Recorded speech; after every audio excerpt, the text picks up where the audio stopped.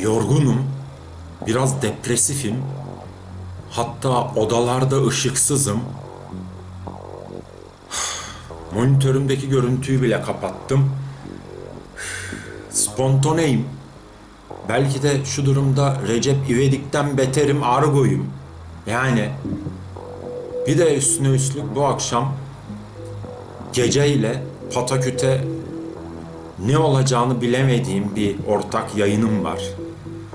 Yani ben akışımdayım, ben kendi bireysel bakışımdayım.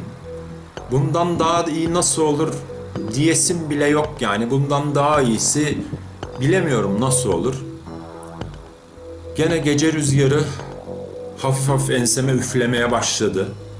Yani saat 19.00 ile 20.00 arası ya da saat akşam 7 ile 8 arası kısaca söylemesi halk arasında yayınımız olacak. Ona sorular sormayı düşünüyorum fırsat verirse. Fırsat vermezse alsın bildiği gibi yürüsün gece kardeşimiz.